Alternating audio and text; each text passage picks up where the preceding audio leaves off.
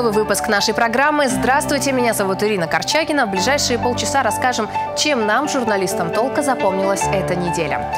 А начнем с того, что алтайские депутаты все-таки запретили продажу детям энергетиков. Большинство парламентариев проголосовало за ограничение розницы несовершеннолетним. Споры об этом вели давно. Одни депутаты настаивали на вреде напитка. Так, в одной банке почти в 6 раз больше кофеина, чем организм ребенка может усвоить за сутки.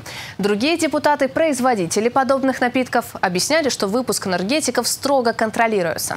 Парламентарии нашли компромисс и запретили продавать энергетики детям в учреждениях образования, спорта, искусства, медорганизациях, общепите, в торговых автоматах и в магазинах, которые расположены в многоквартирных домах или во дворах.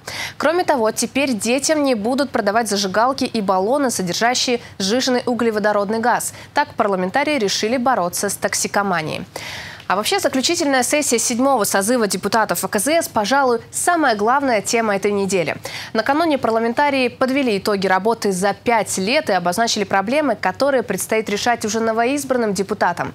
Например, многодетным семьям края уже с января следующего года обещают выплатить компенсацию за земельный участок, положенный им по закону, а предпринимателям с незарегистрированными аттракционами выписать штраф до 100 тысяч рублей.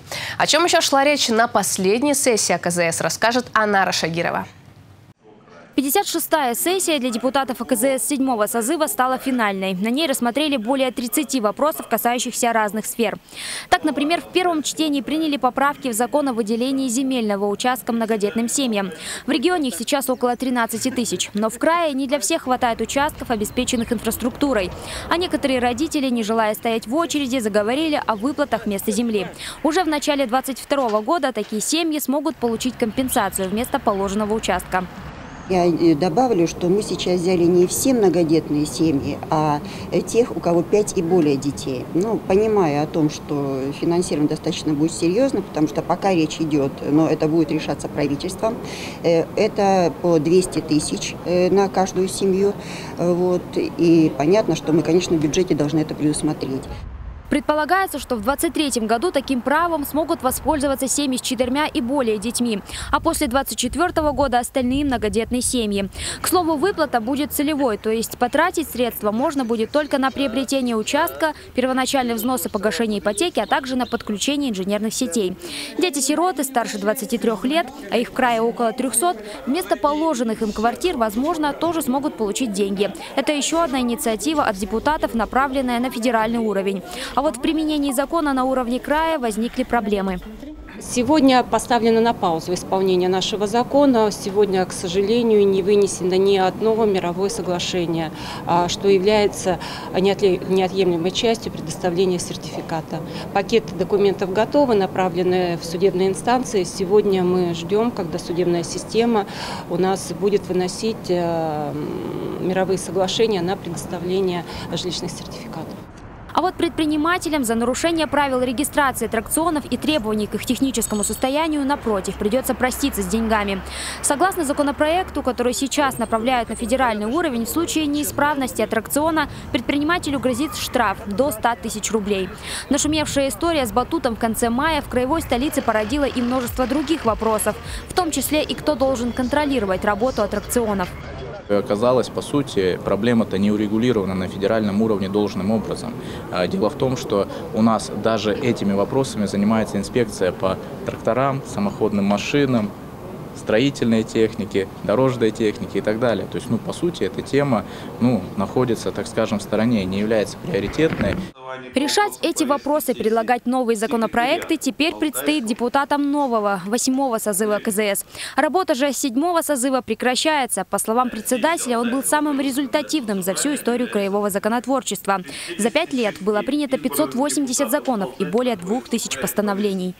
При нашем деятельном участии был внесен, изменен механизм начисления заработной платы педагогическим работникам и работникам здравоохранения. Система стала более прозрачной и более справедливой. Это еще, конечно, не решение проблемы низкой заработной платы, но серьезный шаг в этом направлении. Романенко также поблагодарил коллег за работу и за споры, в которых рождалась истина. А вот новый состав регионального парламента жителям края, напомним, предстоит выбирать 17 по 19 сентября. К слову, в нем не будет минимум 21 депутата из седьмого созыва. Анара Шагирова, Александр Антропов. День с толком. И еще одно важное решение, принятое напоследок парламентариями – стратегия развития региона на ближайшие 10 лет. Упор в ней делают на агропромышленный комплекс, а он уже, по мнению некоторых депутатов, будет определять и другие сферы экономики. Без споров принятие стратегии не прошло. Подробности далее. Образ будущего нашего региона стал осязаем. Краевые депутаты утвердили стратегию социально-экономического развития Алтайского края на ближайшие 15 лет. Проект разрабатывало правительство края под руководством губернатора Виктора Томенко. Документ обсуждали в общественной палате, рассматривали эксперты. В мае стратегию одобрила Минэкономразвития страны. Теперь же его утверждают парламентарии. В документе плюсы и минусы экономики региона, состояние экологии, вместе с тем цели и задачи края до 2035 года. Определяющую роль в развитии отдана агропромышленному комплексу. Алтайского края. Он определяет сегодня экономику. Он определяет развитие сегодня и промышленности, машиностроения, химической промышленности и, безусловно, в первую очередь, глубокую переработку нашей продукции. Все единогласно сказали, э, стратегию надо принимать и поддержать. Единственная просьба, чтобы этот документ не лежал до 1935 года на полке, Первое чтение этого законопроекта состоялось еще в 2019 году. Его отправили на доработку, затем рассмотрению помешала пандемия. Сейчас же перед депутатами большой ориентир развития, а того и цели для края большие. Он должен стать территорией творческого созидания, позитивной энергии развития, реализации гражданских инициатив. Но не стоит забывать, что все эти высокие миссии можно реализовать только если действительно нам удастся добиться вот, исполнения, реализации первичных, скажем так, базовых потребностей населения. А это как раз и располагаемые реальные денежные доходы, о чем я уже сказал, рост к 2035 в 1,7 раза. Это и темпы роста номинальной зарплаты, без споров обсуждения не обошлось. В частности, парламентарии обращали внимание на конечную цель – благосостояния конкретного жителя и вносили предложения для последующих шагов. Если мы не разработаем наши коллеги, которые придут после нас, не разработают сегодня отдельную программу демографическую для Алтайского края, данная концепция не будет работать. Нам некому будет повышать заработную плату, нам не с кем будет выполнять те задачи, которые поставлены. Большинством голосов стратегию приняли. К слову, это было одно из последних важных решений краевых депутатов седьмого созыва. Виктор Томенко, который присутствовал на сессиях АКЗС с 2018 года, поблагодарил депутатов депутатов за совместную работу и подчеркнул результативность сотрудничества исполнительной и законодательной ветвей власти. Парламентариев проводили, вот школьников пора встречать. Подготовку к новому учебному году обсуждали в правительстве региона. Линейки э, в День знаний пройдут для первоклассников 9 классы и 11 классы в соответствии с э, рекомендациями. Э, учебный год мы начинаем очно, но в режиме, так скажем, по второму принципу из четырех, которые мы применяли в прошлом году, это различные входы, а, скользящее расписание, кабинетная система и соблюдение всех санитарно-эпидемиологических норм. В образовательных учреждениях есть рециркуляторы, бактерицидные лампы, термометры. В школах строго следят за вакцинированием. Привито почти 62% сотрудников. Однако в ходе доклада у главы региона возникали вопросы. Общая цифра, она важна, но в данном случае хотелось бы нам понимать расклад по юридическим лицам. То есть из 1317 организаций, в скольких меньше 60% вакцинация на сегодня. Вот что же нас интересует. Может быть, где-то 100, а где-то, может быть, и 40. В целом же к учебному году готовы все образовательные учреждения края, подчеркнула Светлана Говорухина. А вот учителей не хватает, и этим вопросом в Минобре занимаются. Способы, которыми мы решаем эту проблему – привлечение молодых специалистов, перераспределение нагрузки, переподготовка кадров, а также трудоустройство специалистов из э, других регионов. К 1 сентября тема вакансий будет закрыта данными механизмами полностью. К этому дню в школах края открыты почти 3000 вакансий преподавателей. И тем не менее, благодаря тому, что учителя берут на себя несколько ставок, этой осенью школы края примут 280 тысяч детей. Анастасия Драган, День с толком.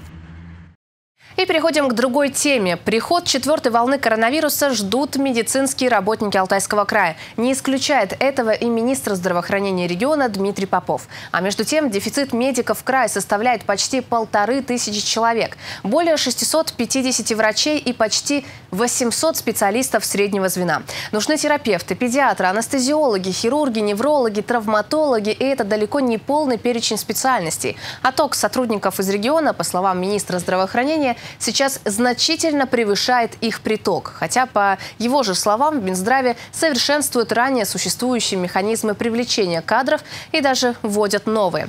Но тем временем в Алтайском крае на ближайшее время прогнозируют ухудшение эпидобстановки. Помимо коронавируса, уже с сентября ожидается волна сезонных заболеваний, ОРВИ и гриппа.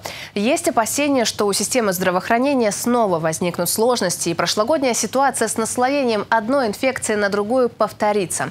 Тему продолжит София Яценко.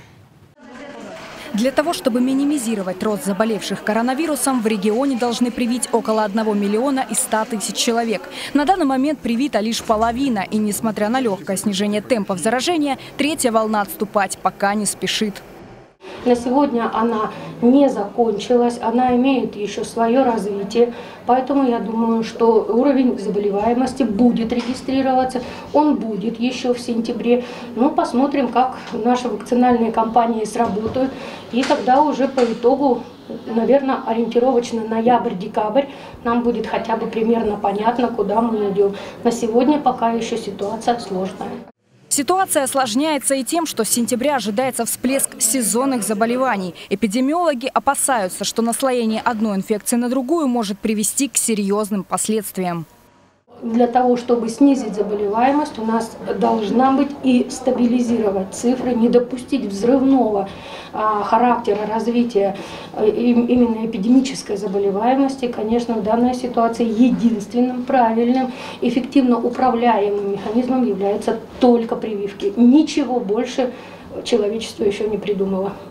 От гриппа планируют привить полтора миллиона жителей края. Вакцинировать начнут уже со следующей недели. По словам специалистов, выполнение прививочного плана – это единственный шанс на то, чтобы избежать плачевных последствий и снизить показатели прошлой осени. София Ценко, Дмитрий Денисов. День с толком. И еще одна интересная тема этой недели. Вместо одного коня целых два. Спустя месяцы дискуссии в мэрии Барнаула все же определились, каким должен быть герб Барнаула. Напомним, старый символ краевой столицы не соответствовал нормам геральдики и на государственном уровне признан не был. А каким будет новый герб, смотрите в нашем сюжете. Герб убрать нельзя оставить. Об этом все лето спорили общественники. Что делать с конем в верхней части герба Барнаула, который некогда обозначал принадлежность города к Томской губернии? И как вообще должен выглядеть современный символ краевой столицы? Обсуждали достаточно бурно. Геральдическая комиссия России э, не приняла наш герб еще и в 90-е годы. И еще э, в 1996 году вставал вопрос о том, чтобы э, принять соответствующий нужным канонам э, геральдическим правильный, скажем так, герб. Но это не было проведено в жизни, и сегодня снова стал этот вопрос Спустя месяц дискуссии общественная комиссия при мэрии Барнаула все же выбрала итоговый вариант. С центральной части конь по закону Геральдики действительно исчез, но вместо него появились целых две лошади с золотыми копытами. Отныне они станут щитодержателями. Среди горных пород стоящая на зеленой земле серебряная дымящая плавильная печь. Мы ушли от термина «доменная печь», который использовался, потому что доменная печь использовалась при производстве чугуна. В Алтайском крае чугун никогда не производили. Почему в Зитыконе? Ну, это как символ того, что мы все-таки принадлежали Томской губернии. Кроме того, герб будет еще и в трех вариантах. Малый, то есть просто французский щит, средний с лавровым венком, обозначающий статус административного центра, и парадный. К слову, новый герб, по словам чиновникам, не станет поводом уничтожить старый созданий и бумаг. Мы с вами видим до сих пор на многих наших зданиях изображение герба Советского Союза, где-то РСФСР. Это что же правда? Значит, ну и, и здесь никто ничего и не будет этого делать. Мы же говорим об официальном использовании уже а, вновь утвержденных символов. И постепенно эти печати заменятся, а, связанные с износом и так дальше. Однако история с гербом еще не закончена. Новый официальный символ города еще пройдет обсуждение в общественной палате, а затем его должны будут принять депутаты городской думы. Анара Шагирова, День с толком. И к другой теме. Единственная техника, которая чистила ливневки в Барнауле, не выдержала и сломалась после недавнего сильного, сильного ливня. Всего за 40 минут дождь затопил весь город. Это было на прошлой неделе еще. Ливневые канализации с нагрузкой просто не справились. А на этой неделе наша съемочная группа попыталась выяснить, улучшится ли ситуация с ливневками в городе когда-нибудь. Плывем, плывем, плывем, загребаем! И красиво, и, как-то, знаете, Прям там это, оттуда вода сбежала, вон там речку. Как это, Ниагарс, Ниагаранский? Ниагарский это, водопад. водопад да. Барнаул топило не ради съемок нового «Титаника». За 40 минут городские улицы ушли под воду не в угоду кинематографа. Ливневки элементарно не справились с таким потоком дождевой воды. Горожане отделались испугом, а владельцы кафе и ресторанов на Малотобольской заплатили рублем. Веранду полностью снесло. И мы потеряли часть, э, там, один зонт, часть забора, а, часть, ну, практически все цветы потеряли. Сумма ущерба уже примерно известна? А, знаете, я думаю, что это до 50 тысяч рублей. А, уже задумываемся, если честно, как вести бизнес именно в этой точке, потому что неизвестно, что будет в следующий раз. На прошлой неделе топила молодежную, пролетарскую, партизанскую и другие городские улицы. После дождя ливневки начали экстренно чистить, да так, что единственная техника по очистке ушла в ремонт. Если вдруг, не дай бог, подобный ливень произойдет, то как будете выходить из ситуации? Ну, у нас есть еще другая промышленная техника, мы ей пользуемся. Единственное, что ну, канал промывочная э, в ремонте мы не проходим э, каналы, но каналы у нас уже все после весны очищены. В Барнауле ливневыми канализациями оборудованы лишь 138 километров дорог. Этого мало власти признают. Чтобы минимизировать последствия сильнейших потопов, нужно в два раза больше, хотя бы 300 километров. Вот только ливневки удовольствие не из дешевых. Отремонтировать весь Змеиногорский тракт э, стоит э, порядка 300 миллионов рублей. Ну, там немножечко чуть больше эта цифра. Если же строить э, ливневую канализацию на Змеиногорском тракте, то по всем современным требованиям, то есть э, выпуск должен осуществляться либо в более крупную переходящую магистраль, либо очистные сооружения. На Змеиногорском тракте там подключаться некуда, куда идет общий водосбор, нужно ставить очистные. Так вот, вернемся к первоначальной точке, откуда мы начали. Ремонт 300 миллионов. Мы грубо прикидывали стоимость строительства ливневой канализации очистных сооружений на этом протяжении. А, у нас появляется цифра для нас э, неподъемная. Это порядка 3 миллиардов. Городской бюджет, как правило, не больше 10 миллиардов. На следующей неделе в администрации города пройдет очередное совещание, где вопрос своевременной очистки и строительства новых ливневых канализаций поставят ребром. Валентина Аскерова, Алексей Фризин, Александр Антропов. День с толком.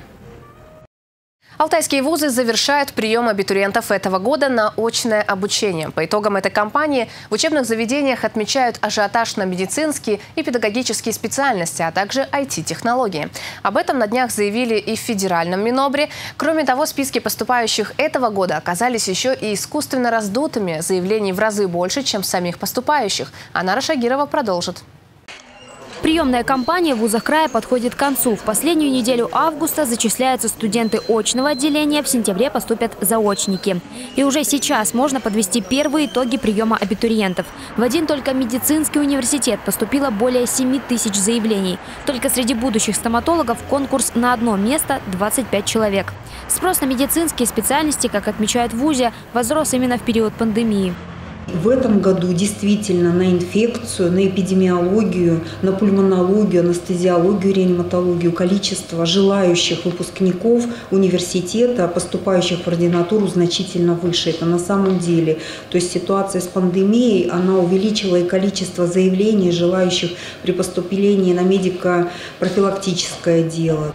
Около 10 тысяч заявлений поступило в политехнический вуз края. Выбор многих абитуриентов – направления, связанные с IT-технологиями. Это прежде всего информационная безопасность, это программная инженерия, это информатика и вычислительная техника, это прикладная информатика.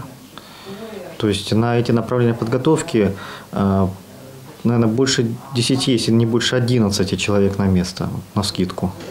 Запрос на такие специальности понятен, тенденция времени. А вот на химическом факультете политеха в этом году недобор. В частности, направление пищевой промышленности. Тем временем молодежь активно уходит в преподавание. В педуниверситет подано почти 8 тысяч заявлений. Это на 2 тысячи больше, чем в прошлом году. Я это связываю не с увеличением людей, я это связываю с тем, что абитуриенты могли подать на большее количество направлений заявлений. Радует то, что у нас не было абсурдных заявлений, как мы называем. Ну, например, человек подает на русский язык литературу и на физкультуру. Новое правило этого года действительно увеличило шансы на поступление. Абитуриент мог подать документы в пять учебных заведений и в каждом выбрать до 10 направлений. Но страхи у многих из них уже позади. Теперь же волноваться о зачислении предстоит заочникам. Анара Шагирова, Артем Гусельников, Алексей Фризин, Александр Антропов. День с толком. А с 1 сентября студенты и школьники смогут бесплатно посещать театры и музеи по пушкинским картам. Ее можно будет оформить на портале госуслуги. Как воспользоваться картой, что она из себя представляет и кто имеет право на ее получение, расскажет Анастасия Болотина. Пушкинская карта – бесплатная духовная пища даже для самого бедного студента. С 1 сентября все учащиеся страны от 14 до 22 лет смогут оформить Пушкинскую карту, которая позволит посещать все культурные учреждения за счет бюджетных средств. Номинал карты – 3000 рублей. В правительстве страны решили – это хорошая мера поддержки для работников в сфере искусства во время пандемии. Например, в 2020 году только алтайские театры потеряли 60% зрителей – Ажиотаж не случился и после снятия ограничений весной этого года. Вы знаете, э, мы надеемся не только на эту возрастную категорию, не только э, студенты и ученики. Мы все-таки рассчитываем, что они станут неким катализатором для своих, возможно, ближайшего окружения, для своих родственников и будут привлекать э, к совместным походам, может быть, своих младших сестер, братьев, либо более старшее поколение. Поэтому я думаю, что благодаря этой карте охват зрителя, конечно, увеличится в целом.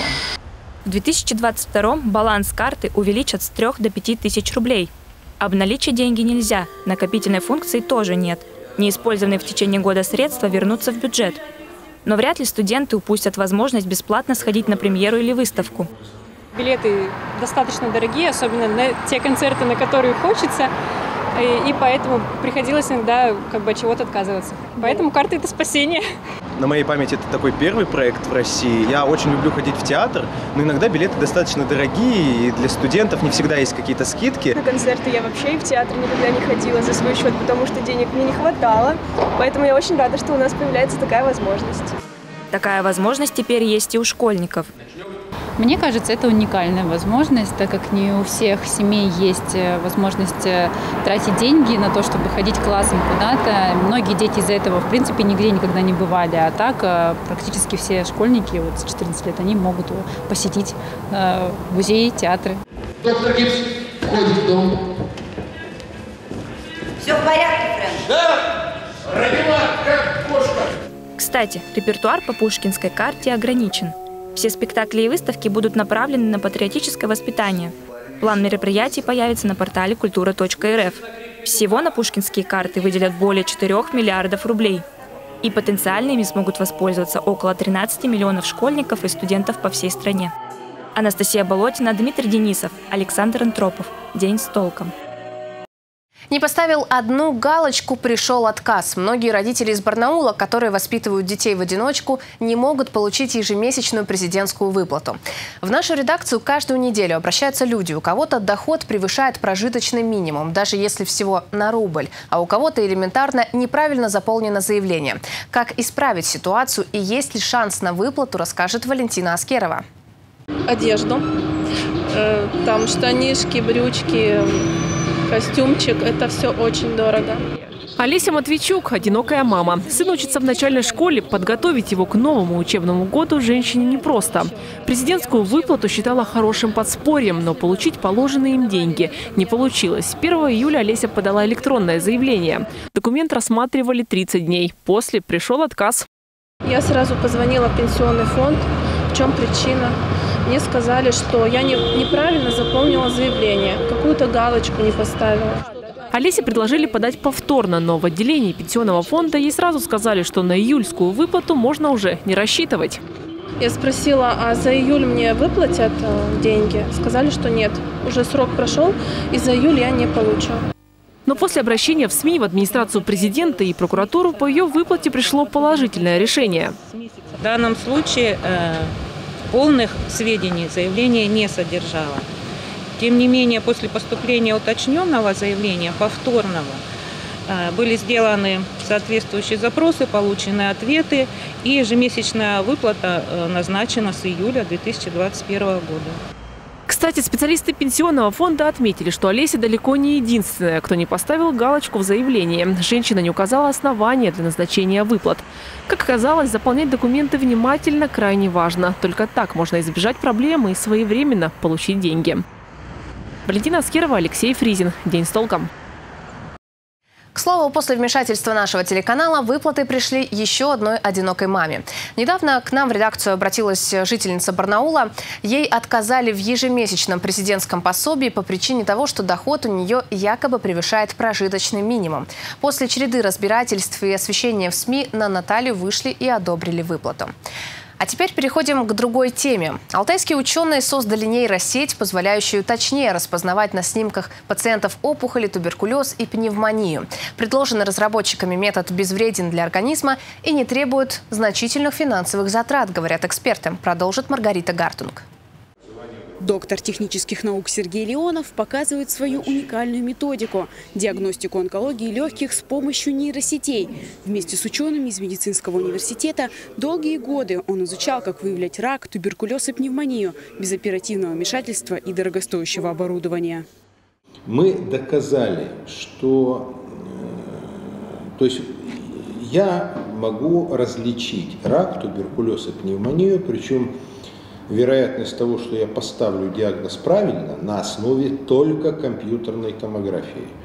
Э, вероятность того, что я поставлю диагноз правильно, это под 80%, по крайней мере, значительно больше 70%. Э, хороший рентгенолог это делает с меньшей вероятностью. Сергей знает об этой проблеме не понаслышке, ведь ранее у него у самого диагностировали опухоль легких. Но для того, чтобы убедиться, что она доброкачественная и не опасна для здоровья, ученого пришлось прооперировать. С помощью разработанной им методики другим пациентам этого можно избежать.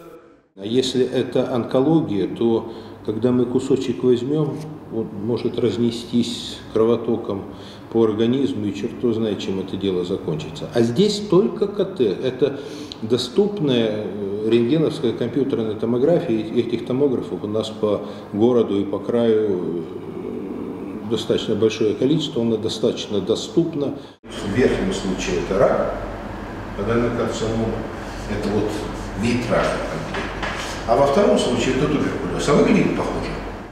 Ученые доказали, что при заболевании легких, таких как рак, туберкулез и пневмония, плотность опухоли различна. И изучив ее с помощью нейросетей, можно точнее ставить диагноз. Кстати говоря, этот алгоритм работает не только с легкими. Принцип работы можно использовать и в других областях медицины. Необходима только статистика и немного исследований. Мы выходили на онкодиспансер, разговаривали с руководством онкодиспансера, но пока ответа мы не получили на эти обращения. И сильно хотелось бы, чтобы вот все-таки эта методика была доведена до практической медицины. Но на вооружение уникальную разработку врачи пока не взяли.